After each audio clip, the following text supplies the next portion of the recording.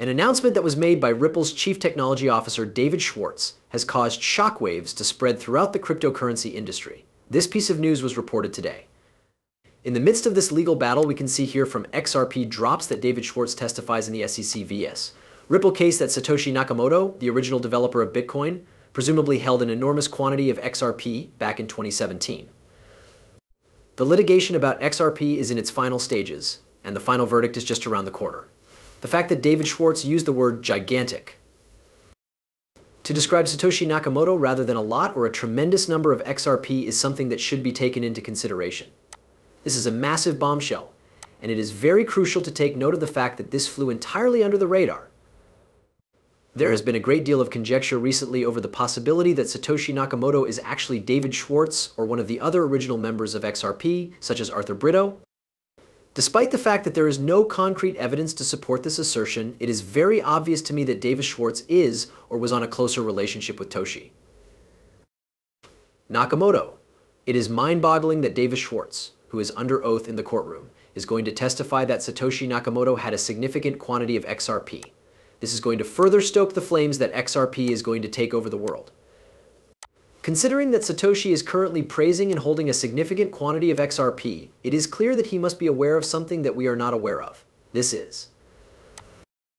Because Bitcoin was intended to be the initial cryptocurrency that Satoshi invented, there is a possibility that the use case for XRP and its pricing were pre-planned from the first introduction. Because it appears that the United States of America has abandoned them, it is possible that the lawsuit was all a part of that strategy to make it easier and faster for them to expand across the globe without the limits that come with being an American firm. In fact, with regard to the lawsuit, we can see from this. Video how former SEC Division Chief Kristina Littman, who suggested the previous month that the SEC might not appeal the Ripple case, has declared that she believes the SEC will not appeal the case. Put your ears to it. And then there is their argument that there is no reason to be discouraged because in reality, nobody buys XRP. Consequently, it is anticipated that both parties would file cross appeals for the items that they have lost, regardless of when that verdict is made, which is most likely going to be this summer. Therefore, at our subsequent conference, which will take place at the Second Circuit, everyone will once again continue to talk about Ripple. Perhaps by that time we will have made a choice, but until then, we will continue to discuss it. Thank you. It's Mike.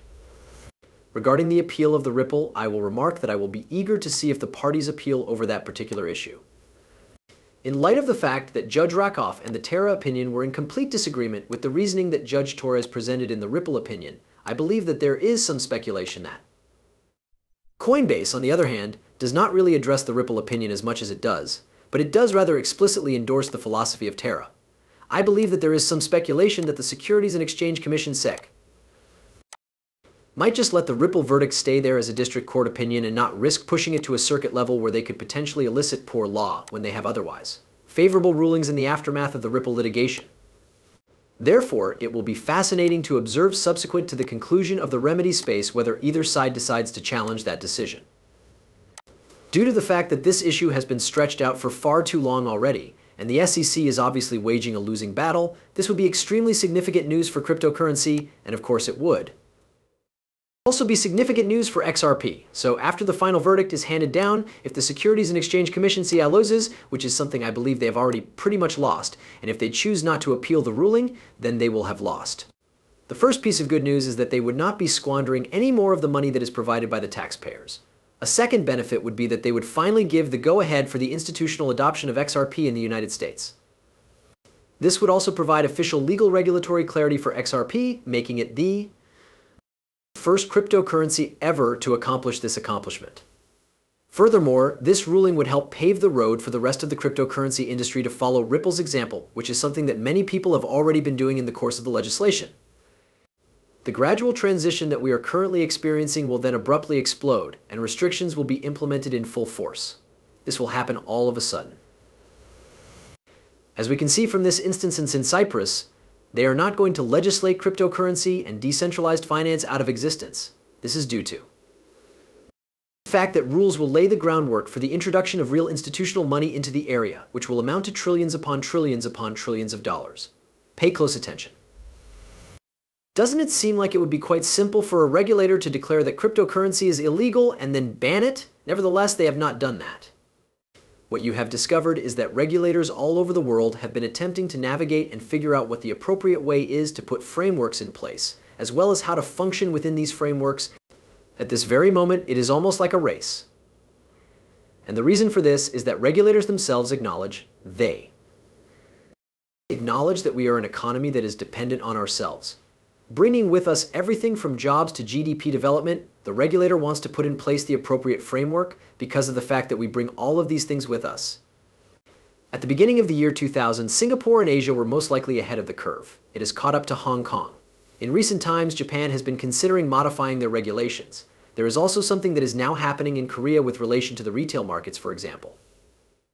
And I believe that within the realm of cryptocurrency, trading shops like ours, market makers, we are integral, and it is up to us to set the gold standard, whether it be in terms of regulatory and compliance standards, as well as the appropriate way to conduct business. This is a very different situation from traditional finance, which is different in that it is very different from traditional finance. In light of this, the approach that we take, particularly within companies like GSR, and the manner in which we carry it out, is to involve the relevant regulatory bodies. We join the Hong Kong Medical Association at these roundtables. We take a seat and communicate with the MAS. In addition to the guys in London, we also talk to the people in Dubai. The reason for this is that, in any case, they do not assert that they are experts in everything. They are looking for our opinions. Consequently, when you put something like that together, you get the impression that there is a glimmer of hope at the end of the tunnel.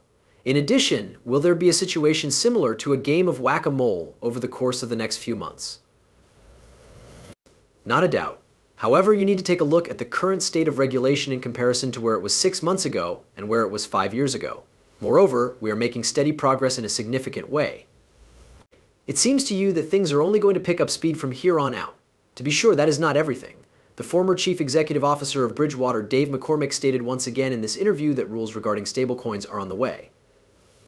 For the simple reason that the United States of America will undoubtedly fall behind if they are not recognized the following week. For now, it's either do or die. Pay close attention.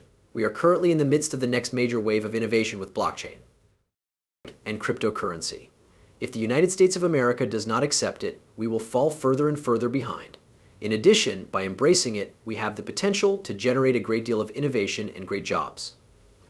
I've been around for a number of different waves of invention, whether it was the personal computer and the internet or some of the recent advancements that have occurred in the field of artificial intelligence. This is one of those waves that we have to welcome with open arms. The consequences of this for national security are quite evident, and they are as follows blockchain-based and cryptocurrency-based systems have relatively rare instances of illegal behavior, which accounts for somewhere between 0.3 and 5% of all transactions. But it provides a roadmap for those in charge of national security and prosecutors to follow in order to zero in on illegal activities. All of the national security and legal professionals that I spoke with are of the opinion that it provides a genuine means of eradicating illegal behavior rather than fostering its growth.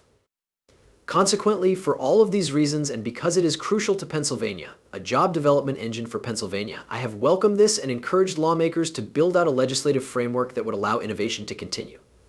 Now, isn't it A? Mighty convenience that Ripple is going to be releasing their very own stable, which will replace USDT and that in the not too distant future, only USDC and RUSDC and